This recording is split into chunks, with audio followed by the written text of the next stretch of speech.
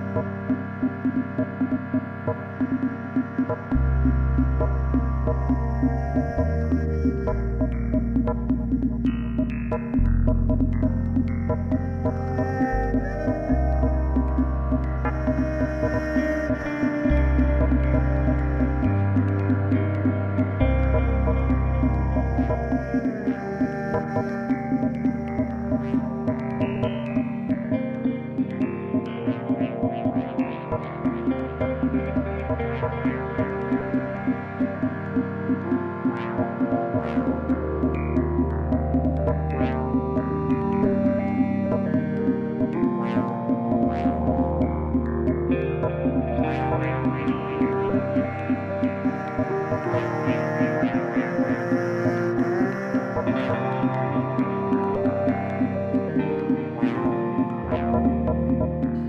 우리의 전 세대들이 피의 절규력 강산에 새겨놓은 교훈을 잊으면 조가를 판별하는 계급의 눈이 멀어지고 원한에 찬 육사의 비극이 되풀이되게 될 것입니다.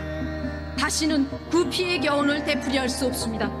남조선 계례들이야말로 우리의 불변의 주석이며 혁명투쟁의 실패를 좌우하는 군본 여인은 기국의식입니다.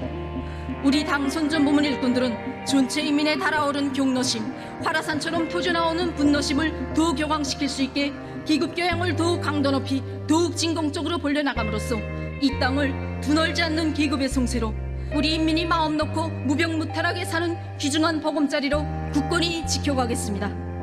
우리들은 사상 전선을 지켜선 남다른 사명과 그 어느 때보다 무거운 책임감을 안고 전체 인민을 투철한 주석관과 계급적 원수들에 대한 비타협적인 투쟁 정신을 지닌 계급의 존입투사로 무자비한 복수자로 준비시키며 가슴마다에 만장약된 복수와 징벌의 의지가 그대로 일터와 처소마다에서 당결정 관철을 위한 혁혁한 성과로 이어지도록 사상사업의 화력을 더욱 두세게 들이대겠습니다. 하여 방역대전에서 이룩한 값비싼 성과가 당과 혁명대회의 정치사상적 위력을 더욱 굳게 다지고 우리 혁명 기업을 더 활력 있게 전진시켜 나가는 새로운 전환적 계기로 되게 하겠다는 것을 굳게 결의합니다.